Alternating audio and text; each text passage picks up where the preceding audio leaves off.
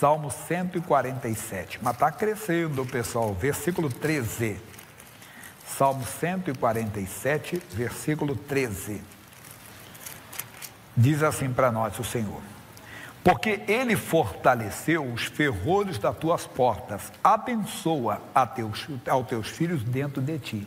O que, que, é isso? Que são os ferrolhos? São as trancas. Muita gente, eu dei uma, um exemplo, tem porta que você chega, bate assim, ó, e já estoura, não é verdade? É fraca. Mas tem porta não, que se você for bater assim, você vai estourar o seu ombro porque ela está bem, a tranca é forte.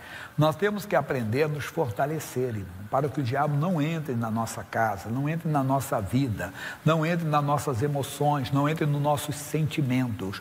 O Senhor Deus vai usar o profeta Naum para nos explicar isso aqui. Naum é um profeta do Antigo Testamento, está lá na frente, Jonas, Miqueias, Naum, é antes do Abacuque. Vários nomes aí para mulheres grávidas, olha só né?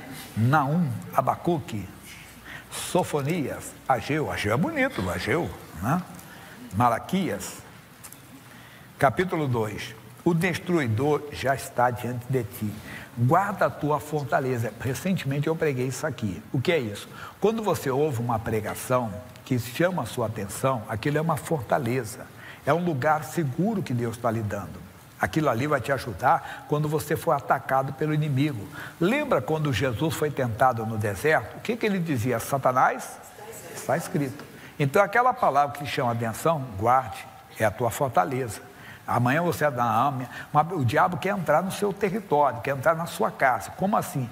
Ele quer entrar, como eu falei, nas suas emoções, nos seus sentimentos. Usa alguém para te magoar, para te ferir, para te humilhar, entenda bem. E você está com as portas, as trancas, os ferrolhos estão enfraquecidos, então ele consegue entrar, porque Jesus é educado e ele diz: Eis que estou à porta e bato. Se alguém ouvir a minha voz e abrir a porta, eu entrarei, cearei com ele, ele comigo. Mas o diabo não, ele vai forçar. E como é que ele força? Se a porta está fraca, ele entra. E quando ele entra, ele entra para quê, pessoal? Matar, destruir, está certo? Matar, roubar e destruir. É isso mesmo. Então ele faz isso, matar, roubar, destruir. Então ele provoca uma situação. Alguém te humilha, te provoca. E como você não tem a não, não guardou a fortaleza, aquela palavra, a nossa luta não é contra a carne e o sangue. Você fica chateado. É chateado com alguém da família, é chateado com um colega de trabalho, é com uma pessoa que não vai com a tua cara, que constantemente está te provocando, uma pessoa usada pelo diabo. O que, que ela quer? Ela quer, ela não, coitada, ela nem sabe o que está fazendo. É o diabo que quer entrar no seu território, encontrou os ferrolhos, entenda, as trancas apodrecidas, enferrujadas, ele vai entrar. Tem que fortalecer. Então, guarda a tua fortaleza. Aquelas palavras que Deus te dá, aquelas revelações que aparecem em você. Já está bom aqui o Naum. Nós vamos lá para Paulo, aos Efésios. Esse eu dei no outro culto. Capítulo 6, versículo 10. Carta de Paulo ao povo de Éfeso, os Efésios, capítulo 6, versículo 10. No demais, irmãos meus, fortalecei-vos no Senhor e na força o seu poder. Estreite a sua comunhão com Deus. Lembra que ele não tem privilegiado, tem homens que o buscam, quer dizer, busque mais, se envolva, tenha, seja constante na sua comunhão com Deus. Não espere chegar o dia mal para você orar, para você vir para a igreja. Não, não, mantenha comunhão com Deus. Quando surgiu o dia mal, você está fortalecido no Senhor. Mas ele fala, e na força do seu poder. Aqui em Romanos, capítulo 1, é um versículo que eu gosto de citar bastante Romanos 1,16. Romanos 1,16. Porque não me envergonho do Evangelho de Cristo, pois é o que? Poder de Deus. Então, se, for, se fortaleça no Evangelho, conhecendo o Evangelho, estudando o Evangelho, ouvindo o Evangelho, mas Paulo está não tenha vergonha do Evangelho, tem gente que tem. Amigo, vamos tomar uma pinga ali? Ah, não estou afim hoje não. Não, eu não bebo. Eu lembro de uma vez, um rapaz, um homem tinha estava se convertendo quando ele perdeu um filho, muitos anos. E eu fui nesse velório. E um amigo dele falou, vamos tomar um negócio ali. Ele falou, rapaz, não vou beber hoje, nem amanhã, nem nunca mais. Ah, não vai dizer que você virou crente agora. Eu disse, não, claro. Agora eu vou seguir Jesus. Mesmo tendo um momento difícil, ele sabia, Deus estava no controle de tudo. Então ele não teve vergonha de falar, mas tem gente que tem, não tenha vergonha não. Eu contei que o missionário falou que tem gente que, veja crente às vezes almoçando fora. O cidadão está lá no restaurante, né? No, no, refeitório da empresa, não sei o quê, às vezes fala besteira, fala palavra, ninguém. O crente vai orar. Como é que o crente ora? Olha, olha ele orando. Para agradecer a Deus, dar graças a Deus pelo alimento. Você ouviu alguma coisa? Não. É assim que ele ora. Tem vergonha, não. Tá, não precisa fazer aquele discurso tão grande, né? Que tem gente que faz um discurso. Um homem que falou comigo, eu orei, ele pediu para abençoar o alimento na casa dele. Aí eu orei. Ele não era crente, a esposa dele que era, tinha me convidado lá. Eu fiz uma oração, eu fiz rápido, Senhor Deus, obrigado pelo crescimento rápido. Ele, aleluia! Ele não era crente. Ele disse, ô oh, irmão, você orou rápido, né? Ela trouxe aqui umas irmãs lá da igreja de vocês. Ela agradeceu por quem plantou arroz, quem colheu arroz, não sei mais o que. Fez aquele discurso, eu com uma fome, pastor, tremendo, e a, e a mulher fazendo uma reza aqui muito longa. Disse, não, mas não tenha vergonha, disse, Senhor Deus, eu dou-te graças por esse alimento, receba este alimento com ações de graças, e obrigado por Jesus, o pão da vida, me fortalecer. Pronto não é verdade? Não tenha vergonha do Evangelho, ele é o poder de Deus. Mais ainda na frente, aí eu não dei no outro, é 1 aos Coríntios 1,18. 1 aos Coríntios 1,18. E ele fala o que para nós aqui? Porque a palavra da cruz é loucura, coisa de doido, para os que perecem, para nós que somos salvos, é o poder de Deus. O que, é a palavra? Do Novo Testamento, não tenha vergonha não, do que Deus está falando na sua palavra, que você é nova criatura. É. Não, por que, que senhor não faz? Porque eu sou de Jesus, amigo.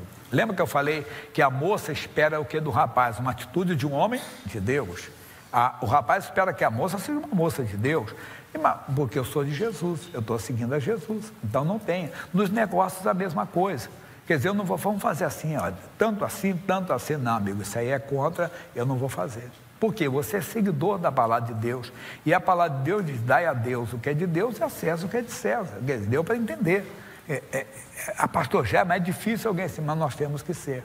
Nós temos que fazer a diferença. Então, veja onde você está desprezando o Evangelho, você está perdendo a força de Deus. Não perca a força de Deus. Voltando, nós começamos Salmo 147, versículo 13. Então, Paulo, o, o, o, o Paulo, perdão, o autor aqui sagrado está dizendo para nós, 147, deixa eu pegar direto aqui, para não mudar, 13. Ele diz no teu autor definido, ele diz, porque ele fortaleceu os ferrolhos das tuas portas. Fortaleça. Como é ele que vai? Vai buscar de Deus, você vai ser uma pessoa forte. O diabo não vai encontrar uma maneira de entrar na sua vida, não vai conseguir penetrar na sua casa, no seu território. E abençoa os teus filhos dentro de ti. Se você estiver fraco, como é que você vai abençoar? É isso que Deus está falando hoje.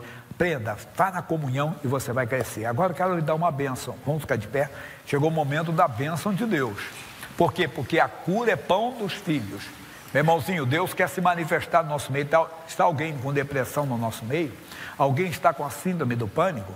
Alguém está com uma ansiedade muito grande? Pastor Jaime, eu tenho acordado nas madrugadas com o coração acelerado. Eu tenho tido umas palpitações fortes. Eu estou com uma arritmia grande. Deus quer abençoar agora. Você está na presença dele. E isso que nós temos que fazer, está com dificuldade para caminhar, que nem a pessoa na Moldávia. Chegou aqui, que nem a que viu que ela falou, chegou aos trancos e barrancos, devagarzinho, depois estava correndo. Fecha os olhos, por favor, Pai. Primeiro, Deus, ajuda-nos a não ter vergonha do Evangelho e a nos fortalecer no Senhor e na força do seu poder. Ou como ouvimos hoje, Pai, que o Senhor não é injusto. O Senhor deu cinco talentos para um dois talentos para o outro e para o outro um, porque o Senhor dá segundo a capacidade que o Senhor vê em nós. E essa capacidade vem de ti. Se nós buscarmos a capacidade no Senhor, nós teremos mais de ti. Fale para Deus: Eu quero, Deus. Eu quero buscar mais de ti. Deus, eu quero ser capacitado por ti. Deus, eu quero essa pessoa capacitada a testemunhar de ti. Venha com teu poder sobre quem está doente no nosso meio, sobre a pessoa que está enferma Alguém, Deus, que perdeu a audição, alguém que está perdendo a visão por causa da catarata, do glaucoma, da diabetes. Venha sobre a pessoa que está com uma inflamação alguns dias, alguém que está com uma hemorragia com sangramento. Venha Deus sobre a pessoa que está com dores na junta, nas articulações, que não está conseguindo se movimentar direito. Ah, passa o teu poder de cura, passa o teu poder de milagre agora. Eu uno a minha fé com a sua fé, meu irmão. Eu levanto a minha voz para dizer ao mal saia, para dizer a dor vai embora, a infecção, a inflamação, o tumor, o câncer que apareceu nesse corpo. Agora vem comigo, vamos juntos isso. Você sabe qual é o mal que tem lhe assediado, tem lhe atormentado. Diga esse mal sai, essa depressão vai embora, esse pânico vai embora, essa ansiedade vai embora, esse medo vai embora. Agora, em nome de Jesus, esse mal que está travando suas pernas, artrose, artrite, bursite, reumatismo, osteoporose, tendinite, desvio da coluna, hérnia de disco, inflamação do ciático, seja o mal qual for, eu estou mandando sair agora. Solte as pernas deste homem, solte as pernas dessa mulher, os braços, as juntas, as articulações e vai embora em nome de Jesus. Levante suas mãos, porque Jesus Cristo te dá saúde porque para Deus não há impossíveis, porque os impossíveis para os homens são possíveis a Deus. Este é o momento da bênção. Digo obrigado, Senhor. Eu recebo a minha bênção, eu tomo posse dela em o nome de Jesus. Amém.